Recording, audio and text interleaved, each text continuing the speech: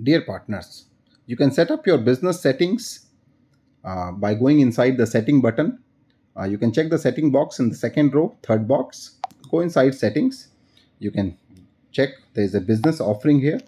As explained under rates, you can set up your rate charts here. Please refer to set up rates. Please refer the uh, uh rate segment, uh, add rates. And uh, after that, you can also set up your business segment for your websites, whatever services that you want to offer. Uh, you can set up your booking commission here. If you are sending the booking automatically to your network partner or beyond your network partner to every other partner in that city, then you can set up your commission here.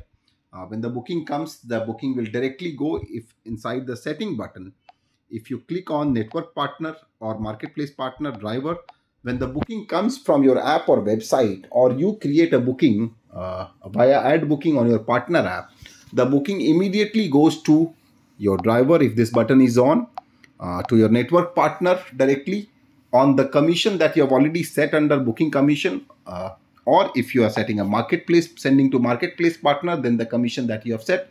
Well, the moment the booking comes, it automatically goes to your network or marketplace partners or driver, depending on the settings that you have done.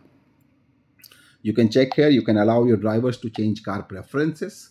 Uh, car preferences means uh, you can go inside vehicle vehicle settings and you can change the settings for each vehicle here.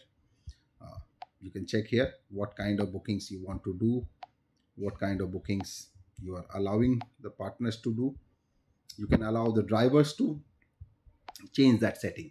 You can also allow your drivers to add vehicle documents, photos, uh, as I explained when if you have more than one vehicle then the driver can upload you can uh, when the driver logs in on uh, from the number that you have added him as driver on the same app he will directly he or she will directly go to your driver app.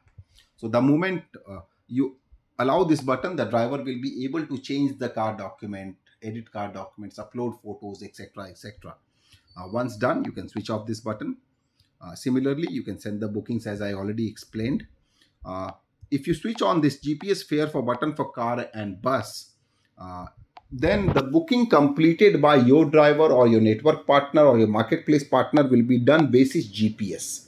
However, if you switch it off, then the booking done by you on your driver app, your drivers on the driver app, your network partner or marketplace partners uh, will be done via the odometer, meaning the driver will have to put in the opening and the closing kilometer. More on this you will learn under duty, please check the duty segment under the training video to understand how uh, uh, the driver needs to complete the booking via the driver app and what happens if the GPS is on and off.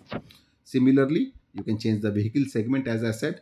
This way you can set up your entire business here. Thank you so much.